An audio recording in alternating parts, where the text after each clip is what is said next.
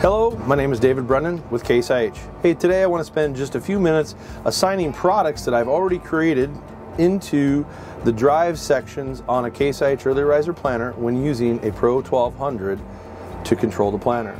So to do that, I'm going to go ahead into my main operations window here and I want to make sure I confirm that uh, I've told the display where I'm planting this product. Don't know what product it is yet, but we want to assume we or uh, make sure we confirm that information. So, yes, my grower is Amy's. It's the uh, uh Arizona field, the test field. Uh, planting 2023 test, and I'm going to confirm my crop type here is corn. Now, in a previous video, I talked about editing those crop types. Please see that video for more information. You can see how to edit those crop types. As I work my way down through, you can kind of confirm then that I've got the right tractor, the right planter configuration.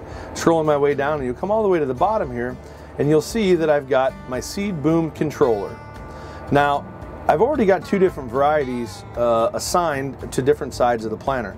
Let's go ahead and change those varieties. I want to change the left side. Now you see that I'm running two different varieties, one being the left hand side and the left bulk fill hopper, and then the right one being the right hand side, uh, the right side of the planter. I want to change this product to actually a, a different variety, different manufacturer. And you can see that it'll cycle through and it's going to go ahead and reassign those rows. Now I've got the blue box around there confirming that. I've got the blue box around the right hand side of the planter confirming that as well. The rates are all pre-programmed in here. If I want to edit those, I can easily come in and edit them for this position. Maybe it's a different variety I got at the last minute, um, and I can change that information very easily uh, from this position as well as the default rates.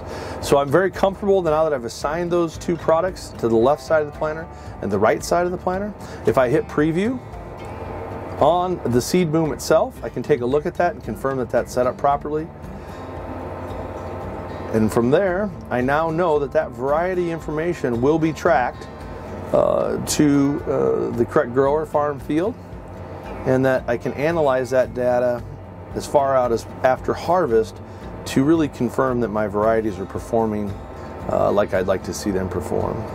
So that is variety assignment on the uh, Case IH AFS Pro 1200 when a 2000 series planter is attached. For more information, visit your local Case IH dealer or visit caseih.com. Thank you.